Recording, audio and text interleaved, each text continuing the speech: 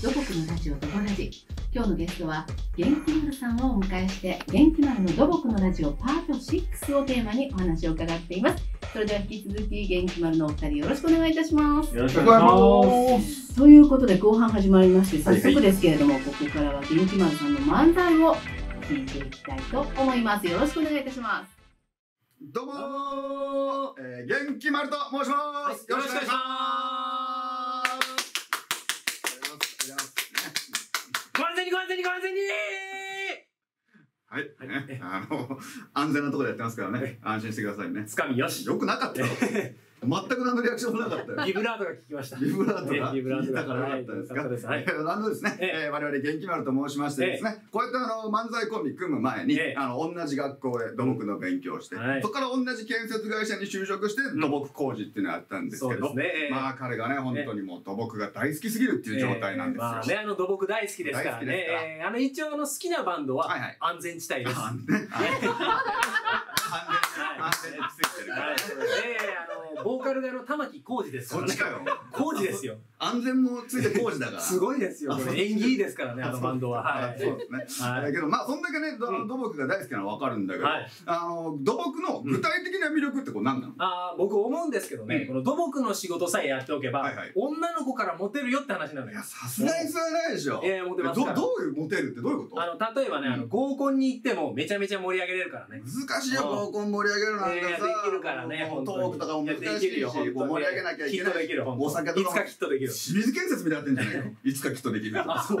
CM みたいな感じになる。もできるのね？うできるから。あじゃあうん。ここじゃあ午後の会場だとしてちょっと見ててみて一緒に行ってみはい。よう。うんどうもはじめまして、えー自分見とっています。一応あの芸人やってます。はい、あ、はじめまして、あの自分北岡って言います。ヘルメットかぶってんじゃないか。A 型です。いや書い書いてあるけど血液型も、はい、あのちなみに職業はアーティストやってます。いやいやいやもう早速嘘ついちゃうはえ？いやアーティストじゃないでしょいだって。やいや、土木っていうのは地球の彫刻家って言われてるか田中角栄さんはね、うん。いや角栄さんはそう神様が言ってたんだから。神様まあそおうのあの中学出てそこからあの建設会社やってうん。総理大臣になってまあすごい人ではあるけそうそう。え田中角栄知ってる？あの合コンの初っ端で田中角栄の話題出すもんじゃないよ。そう。盛り上がらないからそれは。あそういうもん。そういうもんそういうもん。まあまあむえー、向こうの名前も聞いてない。あ、そうだったね。うん。でお名前は、うん。あ久保田さんに、うん。えっ、と小松さん。えー、重機じゃん。重機とか人指さして重機とか言うの？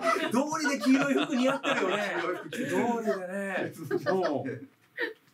うんでも飲み物頼もうかあ、飲み物ね。ああ、そうだそうだ。うん。えっ、とあ生。うん。生。えっ、と生。あ全生でね。すいません。発注お願いします。注文って言えよ 何発注ってお前。あの、生4つで。あします。あ、生って言っても、生コンクリートじゃないですよ。分かってるわ。土木ジョーク、土木ジョーク。やめてやめてその店員さんに土木ジョーク土木ジョークってやるの。あそう恥ずか。しいから。あ来た来た飲み物。あ来た。はいあ、来た来た来た。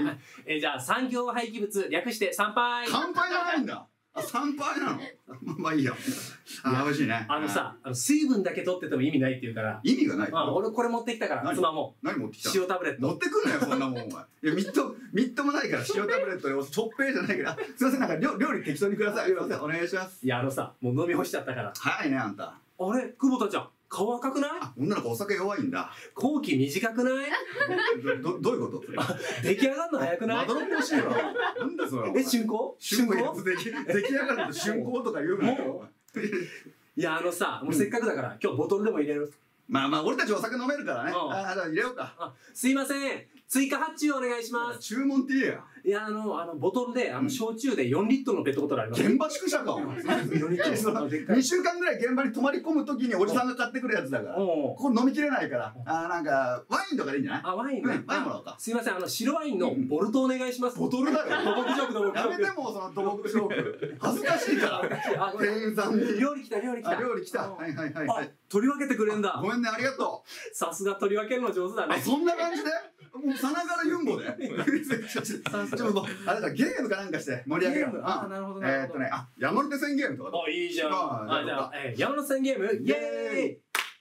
山手線の総延長は、あ違う違う違う。はい、負け！負け。負け！違う違う違う違う。万歳万歳万歳喜びすぎだろお前。黒部ダム完成したんか？いや。じゃなくてあの 山手線ゲームって山手線の工事概要を言い合うゲームじゃないから。罰ゲームそれにしよう。なんか話聞いてないな え何？罰ゲームはうん。2年間の公共工事指名停止。重たすぎるだろうが個人の間で。潰れるぞ潰れるいやそう潰れてしまうぞお前。違う違う。他のゲームでしょあーとあ王様ゲームとかいいんじゃない？王様ゲームいいね。ちょっとさ俺準備してきたからあの好きな鉄筋引いて。鉄器持ってきたのかよ。重たかったろ鬼よはいきまーはい。す発注者誰だ？ゲーム変わってんじゃん俺だ！バンザイ！バンザイ！バンザイ！このコピスの青函トンネル繋がった時じゃないかそれ。チューする。え？チうわ気持ち悪い。チュー。やだやだこういうやつこの中でうん。一番適正な見積もり金額出した人に工事発注します。そっちの中だったんかいいい加減にしろ。どうもありがとうございました